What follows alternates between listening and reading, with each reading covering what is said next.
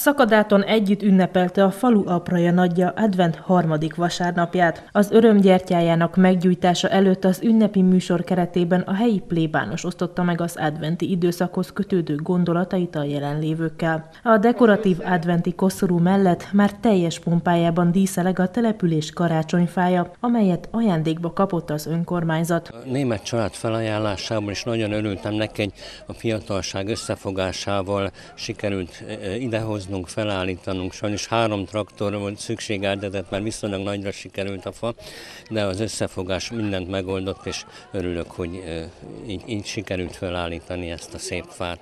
Mindig felajánlásból, mindig családok felajánlásából került, és most is nagyon örülök a templomnak, is van már egy felajánlásunk, amit jövő héten fogunk kivágni, szintén egy gyönyörű ezüstfenyő, de hát arra is egy összefogás kell, hogy, hogy a templomba fölvigyünk. Úgy gondolom, hogy, hogy már mindenki várja ezt, ezt az adventi sorozatot. Hát a, ma is elég sokan eljöttek, és örülök, hogy a plébános urat is sikerült meghívni, és egy színesítette a, a szentbeszédével. Az ünnepi műsor keretében karácsonyi dalok hangzottak el a szakadáti hagyományőrző énekkar előadásában. Lágyan hullahó, néha nyugszik a tó, az utakon, Jézus jön örül nagyon. A település legmozgalmasabb központi helyét választották ki idén is az ünnepi dekoráció felállítására. Most már négy-öt éve itt, itt ünnepeljük.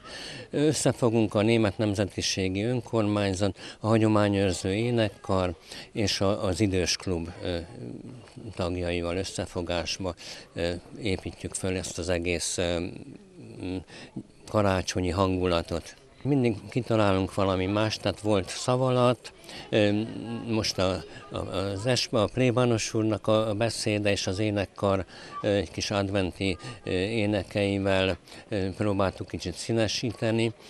Aztán az utolsóra a hangszerelem stúdiótól Szexáról lesz, lesznek fellépők, és hát itt a fiatalok valami meglepetést tartogatnak, tehát mint a, a, a kínálatból, tehát mint a, a, a kis forralt morokkal, meg a kis étekkel, tehát mindig valaki kitalál valami új sütit, vagy, vagy töpörtyű krémet, vagy májas krémet, tehát, tehát ez mindig egy kicsit színes, tehát mindig egy meglepetés.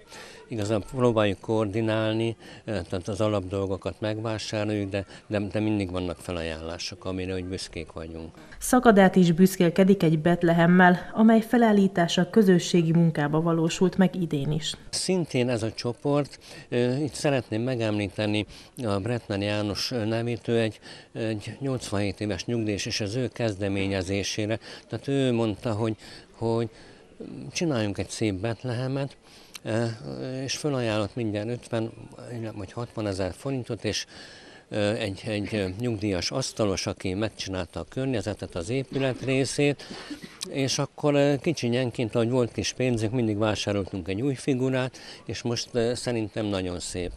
És este mindig adventi zene szól, Szerintem nekünk egyedülálló, mert mi nagyon örülünk neki.